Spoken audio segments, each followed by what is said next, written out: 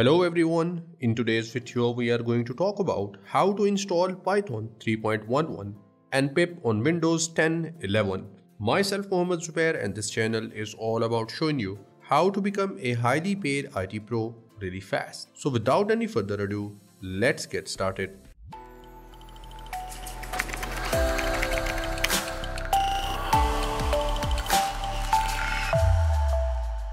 Well, the process of downloading and installing Python in Windows 10 and 11 is same. So for the sake of this video, I'll stick with Windows 10 and you can follow the same process for your Windows 11 as well. So first of all, we need to download our Python. So head to the official website and go to your download section. Here we have a button that says download Python 3.11.2. So I'll just click on this button and let's download our Python.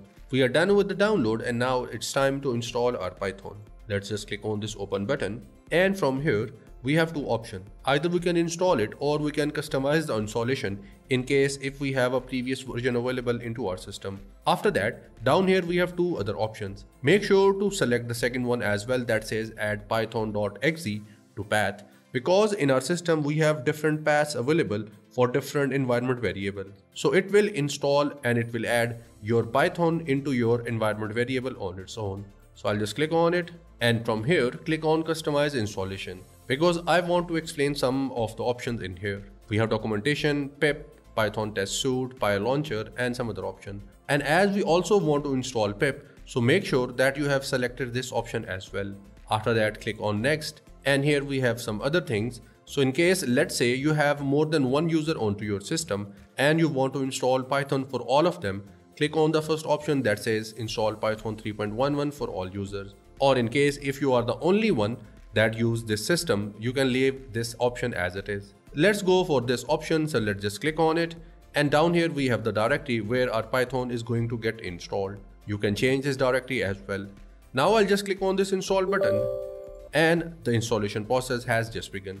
It will take a few minutes to complete the process. So let's just wait for it. And then I'll show to you that if it got installed or not. We are done with the installation and now let's just close this one. And now in order to check if Python got installed or not, we have several ways. Either you can search for Python directly into your system and as you can see it is showing Python. Then down here we have module docs and we have IDLE. Let's just open this one and it's the editor for Python. And let's try to run some of the commands and let's see if Python is working or not. So I'll write here print and in that I'll write skills build space training and let's just close this one and let's try to run and let's see if it is working or not.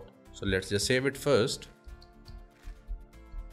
And here you can see we have successfully got the output. It means Python has been installed successfully and it is working pretty fine. Let's just close this one and let's see some other ways. Open your command prompt. Here it is. I'll just open this one and here I'll write python space hyphen hyphen version. Hit enter and python 3.11 has been installed. There is another way. Just write here py space hyphen hyphen version. Hit enter and here you can see we have the output. Now in order to check if pip got installed or not, I'll write here py or py space hyphen m space pip space hyphen hyphen version and let's hit enter. And here we have the output that shows that pip got installed successfully as well along with the Python. So this is how you can install Python 3.11 in your Windows 10 and 11 along with installation of your pip. And that brings me to the end of this particular video. I hope now that you must have liked and loved watching this one and if that is the case do leave a like, subscribe and press the bell icon I'll get back to you as soon as possible. Till the next video, take care.